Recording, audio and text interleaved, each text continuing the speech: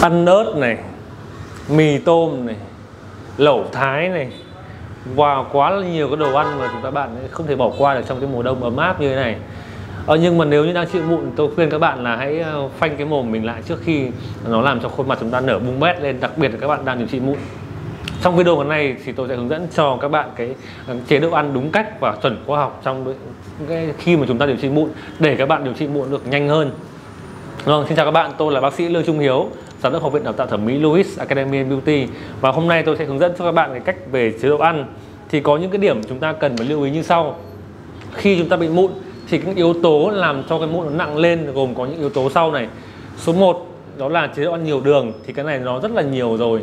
Khi chúng ta ăn, khi chúng ta ăn nhiều đường, uống trà sữa, đặc biệt các bạn uống trà sữa này, hay là ăn các loại bánh ngọt này, ăn các loại đường trực tiếp thì đó sẽ làm cho cái tình trạng mụn nặng hơn. Vì sao? Vì khi ăn nhiều đường sẽ làm tăng tiết insulin hơn. Tức là nó làm tăng cái cái GF1 alpha ấy. Chính yếu tố này nó sẽ làm cho cái tình trạng mụn mình rất là nặng, nó rất là rõ. Và rất là dễ dàng chúng ta thấy là các bệnh nhân bị tiểu đường ấy, thì có rất nhiều cái mụn mà nó hơi mẩn đỏ mẩn đỏ mẩn đỏ. Cái mụn nó rất là khó điều trị. Vì khi nó đã bị tiểu đường rồi thì cái mụn nó còn khó điều trị hơn nữa. Vì cái yếu tố viêm nó rất là khó khó khỏi vậy thì khi ăn nhiều đường nó cũng làm cho mụn nó khó khỏi hơn. Nên nhớ là khi chúng ta điều trị mụn thì hãy hạn chế ăn đường. Vậy thì những cái đồ ăn nào chúng ta có thể ăn được? Những cái loại quả ngọt nói chung ví dụ mà chúng ta có thể ăn các loại ngọt như ăn cái dưa hấu cũng có thể ăn này. Vì uh, chúng ta nghĩ rằng dưa hấu là đường trực tiếp nhưng dưa hấu sẽ có nhiều chất xơ. Nhiều chất xơ khi mà cái đồ ăn mình ăn ấy có nhiều chất xơ hơn thì nó sẽ làm giảm cái cái chỉ số GI của sản phẩm xuống tức là cái, cái ngưỡng hấp thu đường của mình nó giảm xuống nên các loại hoa quả ngọt chúng ta vẫn có thể ăn được trong quá trình điều trị mụn. Còn những cái loại đường trực tiếp như là trong trà sữa hay là đường tinh bột hay là cái đường trực tiếp ấy, đó thì nó mới là cái thứ mình không được ăn. Còn các loại quả ngọt thì nhớ là ăn, các bạn lưu ý này, thì khi chúng ta ăn quả ngọt ấy thì trong các loại quả có rất nhiều sơ và cái sơ nó làm cái quá trình hấp thu đường của mình giảm xuống. Nó sẽ hấp thu từ từ từ từ, không phải là một lúc nó hấp thu đột, bột lên lên như này vậy thì những cái đồ ngọt chúng ta cần tránh là đồ ngọt trực tiếp, chứ không phải đồ ngọt có nhiều sơ như hoa quả. Nên yên tâm nhé, ăn hoa quả vẫn có thể giúp điều trị mụn được. Tuy nhiên, có một loại loại quả mà nó đã chứng minh là làm nó mụn hơn. Ví dụ chôm chôm hay là vải. Nó nhiều xoài, thì những loại quả mà có hàng tính nó nóng thì nó cũng sẽ làm tăng mụn hơn. Nhưng có, không có nghĩa là chúng ta được ăn một cách tự do, thả phanh. Chúng ta cần nhớ là khi bị mụn thì nên hạn chế cái đồ ngọt. Điển hình nhất là các bạn mà có là fan của trà sữa, giống mình ấy, thì cũng không nên không nên uống. Nhớ là kiêng đi, khi nào khỏi xong thì uống lại. Đó, ok rồi chế độ thứ hai. Uh, ăn đồ cay nóng. Cái này thì cũng ờ, uh, nói rất nhiều rồi và điển hình các khách hàng chữa bên mình ấy. Vẫn cứ uh, vẫn suốt ngày up status lên là đi ăn ăn bát phở và thiếu quả ớt thì còn là nhàm chán hay là ăn uh, lẩu mà không ăn lẩu thái mà không cho ít sa tế hay là cho ít mù tạt thì nó rất là chán đúng không ạ? Thế thì các đồ ăn cay nóng thì nó sẽ có hai cái vị chính số 1 đó là các vị ờ, các vị cay bỏng rát thì giống như là ớt này. Các loại liên quan đến ờ, có cái tinh dầu của ớt thì nó cũng sẽ làm vị cay bỏng nóng mà cảm giác mình ăn xong rất là rát lưỡi mà phải uống nước thì nó mới đỡ được. Vị à, vị cay thứ hai đó là vị cay trong các loại quả có vị à, có đặc tính là, là ấm đồng. Thì ví dụ như là các loại gừng này hay là hạt tiêu thì các loại cay đó thì liên quan đến vị cay ấm đồng. Chúng ta ăn cay chúng ta không bị rát lưỡi mà cũng không bị cảm giác mà khó chịu. Thì các loại vị cay liên quan đến ớt ấy, thì nó mới làm cho chúng ta nặng mụn nhiều hơn vì khi ăn các loại đồ cay như là vị cay của ớt thì nó sẽ làm gia tăng cái tốc độ sinh hóa phản ứng trong cơ thể. Chính điều này sẽ giúp cho cái mụn nó bị viêm nó nặng hơn. Và khi mà đặc biệt là các bạn đang mụn viêm ấy, thì khi chúng ta ăn đồ cay thì rất dễ dàng hôm sau thấy mặt nó sẽ, cái mụn nó sẽ nở hoa bung mét lên. Điển hình là các bạn mới ăn mụn xong mà chúng ta ăn cay thì chắc chắn ngày hôm sau mụn mủ cả mặt là bình rất bình thường. Vì sau ăn mụn xong đã tạo ra rất nhiều kênh dẫn để cái vi khuẩn nó đi vào rồi. Dù chúng ta có sát khuẩn tốt đến đâu đi chăng nữa thì nó vẫn có thể gây viêm. Vậy khi nó ăn cái đồ cay nóng ngày hôm sau ăn mụn xong lên mụn mụn sẽ tự nhiên nó mưng mủ và viêm rất bình thường là liên quan chế độ ăn. Đó, các bạn nhớ thêm điều này. Không nên ăn cay và cố gắng hạn chế sau khi khỏi xong ăn sau.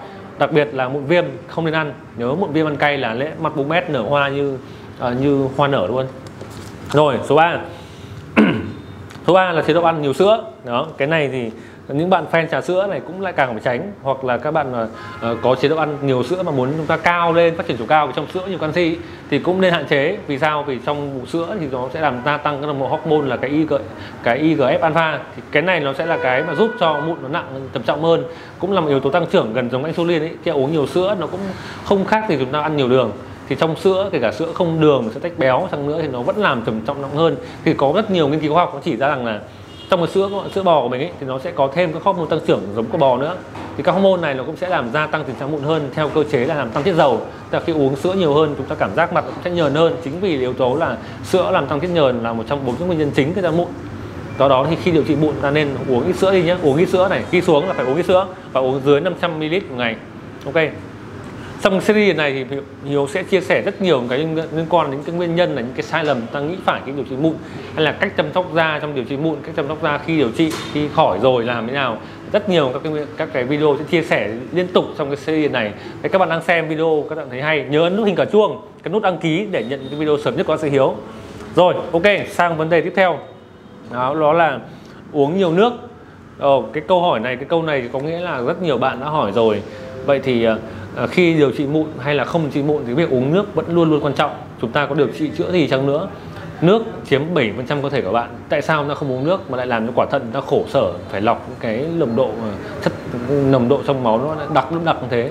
Uống nước không những giúp cho chúng ta thải độc, thanh thản tốt hơn, giúp cho cái hệ bài tiết của mình còn một cách nhàn hơn, nó còn giúp cho chúng ta điều trị mụn da rẻ đẹp hơn chúng ta thử nghĩ xem nếu chúng ta ra sa mạc mà chúng ta không có nước uống thì cái môi đầu tiên nó sẽ bong chóc bong nó sẽ bong vẩy rất là rõ và môi rất là trắng.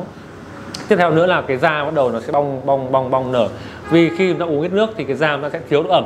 Không có nghĩa là uống đủ nước thì da sẽ đủ ẩm nhưng uống ít nước nó cũng làm cho da nó khô hơn. Vấn đề thứ hai khi uống cái đây mới là cái quan trọng này.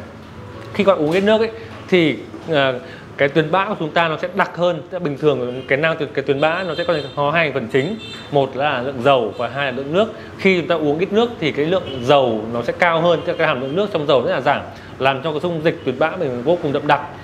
Ờ, thế thì rất dễ hiểu khi chúng ta uống ít nước nó sờ mặt cảm giác cũng rất là nhờn nhờn nhờn nhờn rất là dính khó chịu thế bản chất của cái việc uống nước sẽ làm cho hòa loãng cái tuyệt bã chúng ta hơn và làm tăng khả năng thải độc tố ra ngoài hơn cũng đồng thời làm loãng nước dầu hơn thì nó sẽ làm cái cổ đàn lông chúng ta sẽ, sẽ thông thoáng và sẽ đào thải cách dễ dàng hơn. Do đó là khi điều trị mụn chắc chắn phải uống nhiều nước. Thì cái cách uống nhiều nước như thế nào? Thì cái công thức là dễ rồi. À, một mỗi một kg cân nặng chúng ta cần uống khoảng 40 ml tức là khoảng 10 cân thì uống 0,4 lít. Vậy nếu như trung bình các bạn 50 cân thì một ngày uống khoảng từ 1,5 đến 2 lít nước là ok đó. Thì cái cách uống nước không phải là chúng ta uống một lần tu cả một lít hai lít cho nó đủ mà phải chia đều các ngày ra trong đều trong ngày này. Cứ mỗi một lúc uống một uống khoảng một ngụm một cốc một cốc cái tổng ngày khoảng hai lít là ok. Và buổi tối thì nên hạn chế uống nước hơn vì nếu buổi tối uống nhiều nước sẽ tăng cái gánh nặng của thận.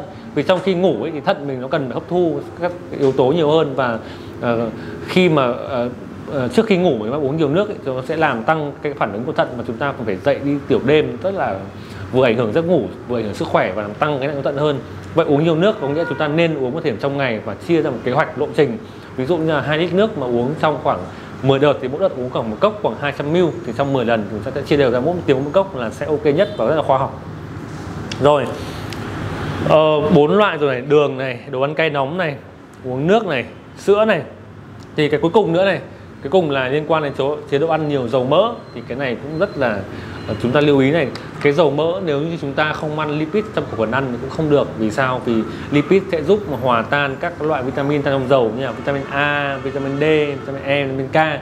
Bốn cái vitamin vô cùng quan trọng vừa giúp chống lão hóa vừa giúp chúng ta cái mắt chúng ta tốt hơn và giúp làm việc tập trung hơn. Thì nếu như không ăn đủ dầu mỡ thì các loại vitamin nó không thu được. Nhưng tuy nhiên là nếu như ăn quá nhiều dầu mỡ trong điều trị mụn nó cũng làm cho ờ, cái cái lượng chất, lượng mà độc tố phải đào thải hơn hay là làm cho cái tuyến bã ta cái hàm lượng dầu nó cao hơn, tức là làm cho cái dung dịch ờ, tuyến bã đặc sệt lại, thì cũng là một cái yếu tố mà làm cho cái mụn nó sẽ khó điều trị hơn. Vậy thì khi chúng ta điều trị mụn cũng nên hạn chế ăn dầu mỡ. Vậy thì tiếng hết à mình sẽ không có gì ăn à? Không phải thì mình vẫn có thể ăn nhưng chúng ta ăn một cách hạn chế hơn. Và chuyển khẩu phần ăn chúng ta ăn fresh tức là nó khỏe tốt hơn ăn nhiều rau hơn ăn nhiều củ quả hơn. À, hạn chế những cái thực phẩm chế biến sẵn hạn chế những cái đồ uống trà sữa vỉa hè hay uống trà sữa các loại trà sữa có cao cấp thì nó cũng vẫn thế nó vẫn là đường bản chất vẫn là đồ ngọt. Thì chúng ta có một lối sống lành mạnh hơn. Không những giúp chúng ta da nó trẻ đẹp còn giúp chúng ta có vóc dáng eo thon có vóc dáng đẹp hơn. Vâng vậy thì đây là năm cái chế độ ăn năm cái món đồ ăn chúng ta cần phải lưu ý khi mà chữa mụn Vâng, video đến đây là kết thúc. Xin cảm ơn và hẹn gặp lại các bạn.